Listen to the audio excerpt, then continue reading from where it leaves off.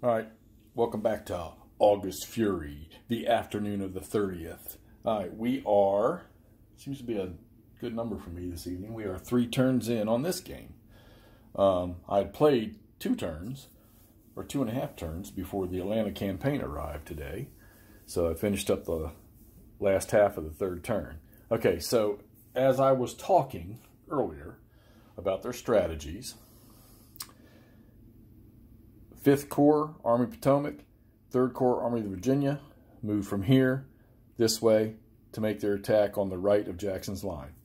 And after listening to a lot of documentaries today, and of course all the reading I've done, they were completely oblivious to Longstreet sitting here, which I don't know how because they can see him. All right, well, doesn't matter now because Reynolds Reynolds was to move over here on Lewis Lane and defend, so they know they're there.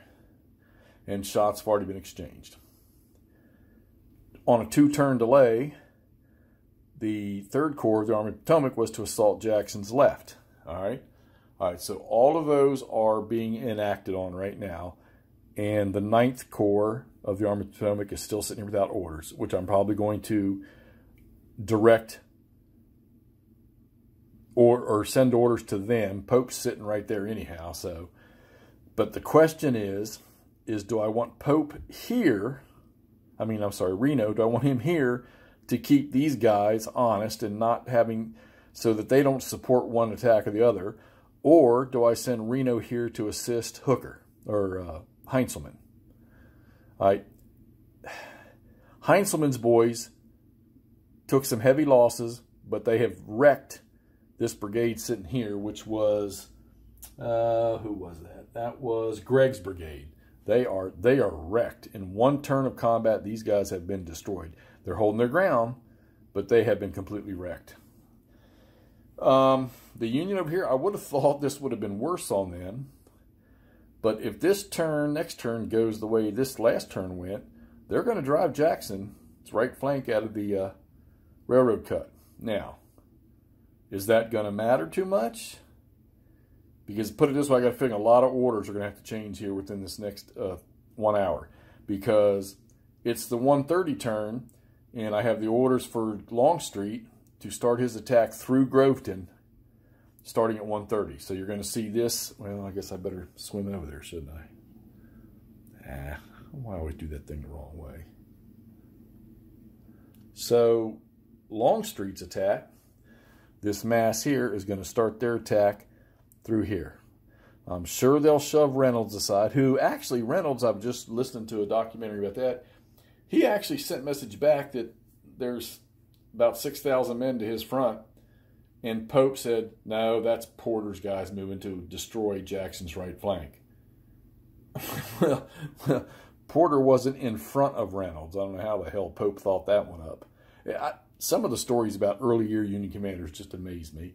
You know what? I keep thinking to myself, boy, if Lincoln would have grabbed Grant and brought him to the east right from the start, because he was always mean as a snake and aggressive, how things might have changed earlier on in the war. But anyhow, so Longstreet's attack is fixing to go in this path right here. So they're just going to, they'll bang into the side of this mess right here. I can't see how they can survive this.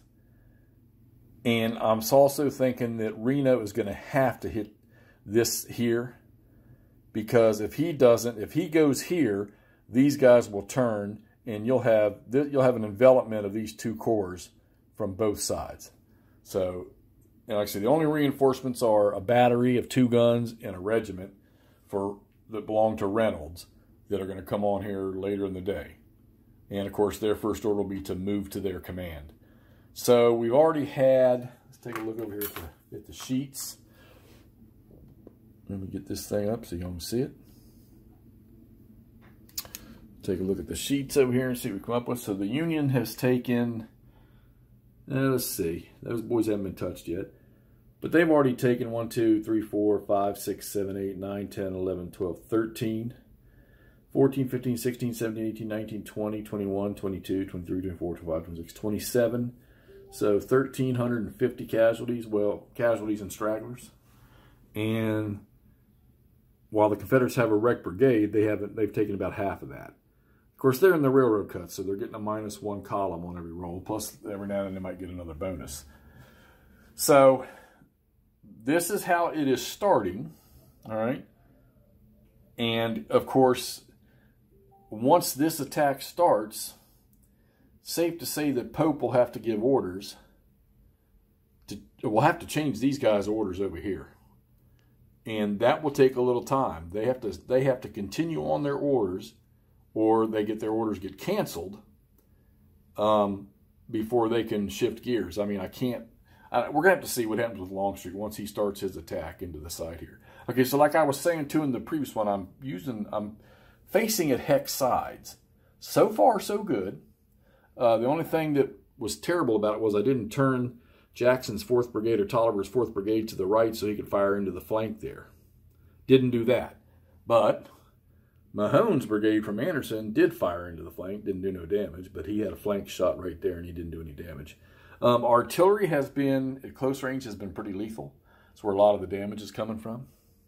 All right, so we're three turns in. We're getting ready to start the 1330 turn, the 130 in the afternoon turn, and this is where it's probably going to start to get interesting for the, uh, well, for both sides, really. All right, so we're going to get on with that, and we'll post back up three or four turns from now. All right, talk to y'all shortly.